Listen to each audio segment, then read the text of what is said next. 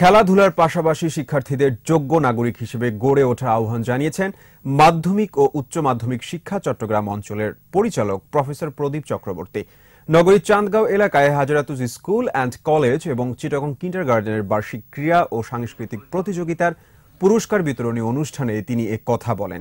এ সময় তিনি বলেন, সুশিক্ষিত জাতি গঠন করা না গেলে সমৃদ্ধ বাংলাদেশ গড়ে তোলা সম্ভব নয়। বর্তমান সরকার বাংলাদেশকে একটি সুখী সমৃদ্ধ দেশ হিসেবে গড়ে তুলতে কাজ করে যাচ্ছে জানিয়ে সবাইকে এগিয়ে আসার আহ্বান জানান তিনি। পরে বিজয়ীদের মাঝে পুরস্কার বিতরণ করা হয়।